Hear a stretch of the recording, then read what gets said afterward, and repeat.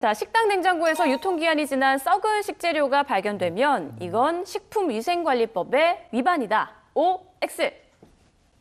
아니라고요? 네, 의외이실 건데 네. 발견만으로 위반이 되지 않습니다. 그럼요. 그러니까 식품위생법은 명백히 판매할 목적, 판매를 전제로 처벌을 합니다. 네. 설사 그래서 그 안에, 그러니까 판매자의 냉장고 안에 음. 유통 기한이 지난 게 있다 하더라도 이걸 판매의 목적이란 걸 검찰청에서 입증하지 못한다고 하면 무죄가 될 수 있습니다. 아, 그 최근 수원지방법원 판결에서 네. 도토리 묵 판매업자의 냉장고에서 유통기한이 2년이나 지난 20kg짜리 그 원재료가 발견됐지만 네. 재판 도중에 결국 검찰 측에서 판매의 목적을 입증 못했기 때문에 무죄로 판결난 사안도 있습니다. 아, 근데 이 부분에 대해서는 소비자의 입장에서 좀 그렇네요. 그러니까 소비자의 손에 넘어갔을 경우에 처벌이 될 가능성이 높다는 얘기잖아요. 음, 그러니까 사안에 따라 좀 다를 수가 있지만 일단 냉장고에 있다는 것만으로 처벌은 어렵다는 취지인 것 같습니다. 네.